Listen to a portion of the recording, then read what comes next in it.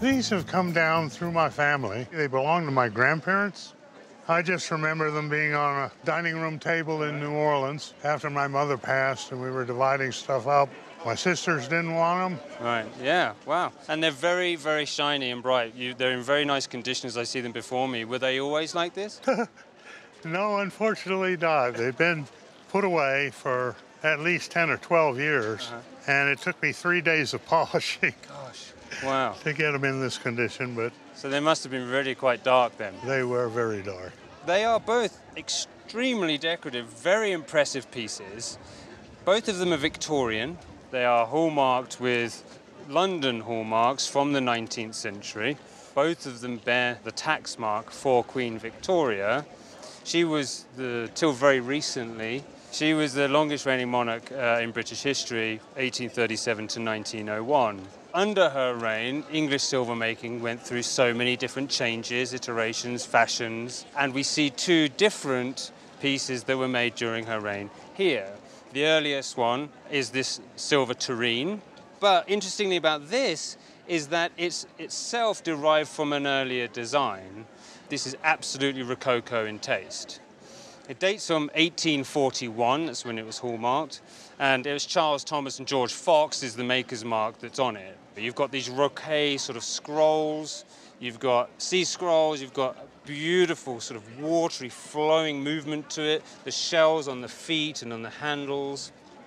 So much fluidity and movement in it, wouldn't you think? Yes. On the finial here is a pomegranate, and the pomegranate is a symbol of fertility also on it is an engraved armorial. It's on the lid there. One side of it is one coat of arms and on the other side of it is another. And they're sort of united, right? So I think it's a marital arms. And the pomegranate being a symbol of fertility makes me think that this was likely given as a wedding gift. Exactly. To um, a very well-to-do couple that got married in, in and around 1841. You've got a beautiful cartouche here on the front with a large bird in the middle, and that's surrounded by, again, these rocaille scrolls, then the flowers that come in around them, and then a bit of a plain body. You've got these beautiful bold C-scrolls.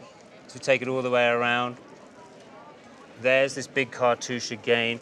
It's very heavily marked. Each piece in English silver should be independently marked. This piece here uh, is much later on in the century. This is from 1883, and you've got water pitcher or a ewer. A wine pitcher. Well, exactly. That's what I think. It's more likely to be a wine ewer, and the reason why is because of this satyr mask. Satyrs were very sort of provocative, mischievous creatures, and so to have wine in here and the satyr mask on the terminal of the handle, I think, is is a clue as to what the contents would have been. Also, you've got these sort of Gothic arches here that's really typical of the 1880s. And really fascinatingly on this, you've got these four pence coins. There are genuine coins, right? They're silver coins on a silver ewer. This is a very unusual design, and this is Aldwinckle and Slater. But Aldwinckle and Slater, to be honest with you, are not particularly well-known company. This may have been a custom piece. To see one of these pieces on Roadshow come to one of the cities that I attend is in itself very exciting. But to see two owned by the same person is quite extraordinary, actually. And that's why I wanted to put them here together to sort of compare and contrast the two of them. I'm glad you did. I think my grandparents would have been would have been happy to see him. Oh, I'm, I'm very glad. I would say that for insurance purposes, the Tureen should be valued at $20,000 the, Pleasantly surprised. The ewer, $10,000 insurance for that. All right.